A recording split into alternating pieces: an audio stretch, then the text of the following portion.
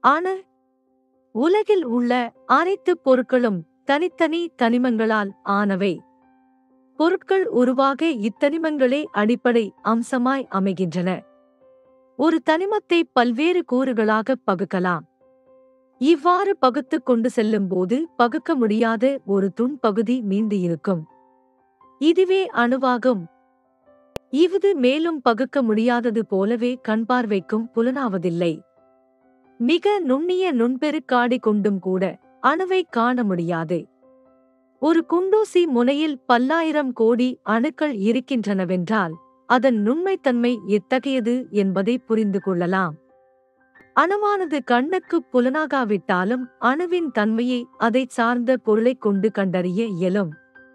இதை ஆய்வு செய்து கூறியவர் அணு விஞ்ஞானி டால்டன் ஆவார். அத்துடன் அணுவை பகுக்கவோ பிளக்கவோ இயலாது என்றும் அவர் கூறினார். ஆனால் இவரது கருத்து நிறைவேறவில்லை. இவருக்கு பின்வந்த அணு ஆய்வாளர்களான Thomson Rutherford Niels Bohr போன்றோர் அணுவை பிளக்க முடியும் என்பதை ஆய்ந்து கண்டறிந்து கூறினர். அணுவினுள் மேலும் பல நுண்பகுதிகள் இருப்பதையும் ஆய்ந்தறிந்து கூறினர். ஒவ்வொரு அணுவினுள்ளும் மூன்று முக்கிய பகுதிகள் இருப்பதாக கண்டறியப்பட்டுள்ளது. அணுவின் நடுப்பகுதியில் உட்கரு அமைந்துள்ளது.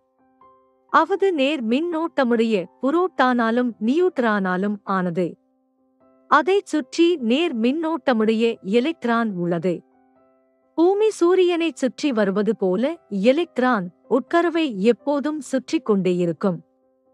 ஹைட்ரஜன் அணுவை தவிர்த்து மற்ற அணுக்கள் அனைத்திலும் நியூட்ரான் உண்டு. அனைத்து பொருட்களிலும் புரோட்டானும் எலக்ட்ரானும் ஒரே மாதிரி அமைந்திருக்கவில்லை. அவை பொருளுக்கு பொருள் மாறுபடுகின்றன.